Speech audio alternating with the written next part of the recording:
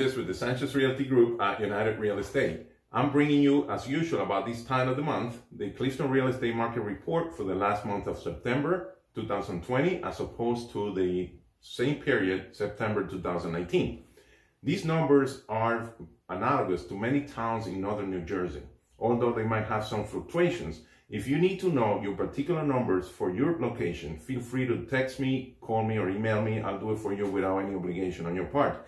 Now, let me tell you what the median sold price was for September 2020, where we had 71 uh, units sold. That is single family homes, active community homes, condos, and townhouses.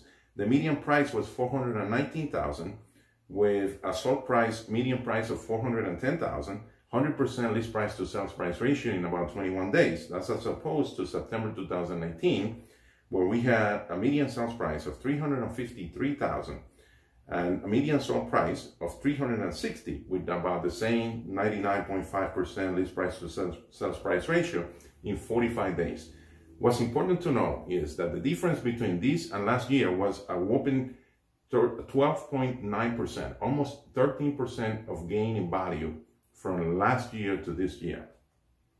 Now, this is an outstanding market. There might never be a better market to be a seller. Okay, there's many factors.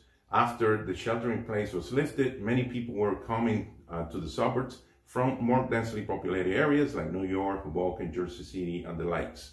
And uh, obviously, a lot of people are trying to utilize the uh, low, historically low interest rates hovering sometimes whether you're buying or refinancing around 2%.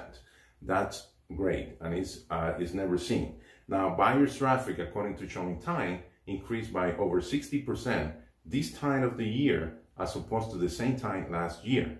Okay, and we have also lower uh, inventory, less homes, more buyers is going to bring us higher prices and quicker sales.